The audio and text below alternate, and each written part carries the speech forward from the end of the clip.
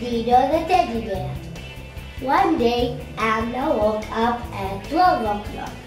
She saw a gift on her bed. She was surprised and started questioning herself. Who put this gift? When and why? What is this? I think it is a gift from who? Hmm, I will open the gift. Oh my god, this is a teddy bear. Wow. Hello, Manman. Ah, what is this? I'm Dedo. I'm Dedo. Be quiet. I am a gift from your friends. My friend? Why did they send me a gift? You don't know why. Oh, Today is your birthday. Happy, happy birthday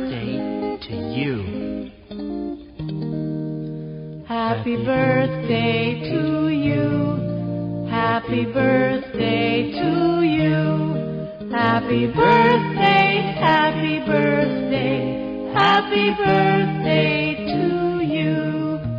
Happy birthday to you. Happy birthday to you. You should always should remember theirs.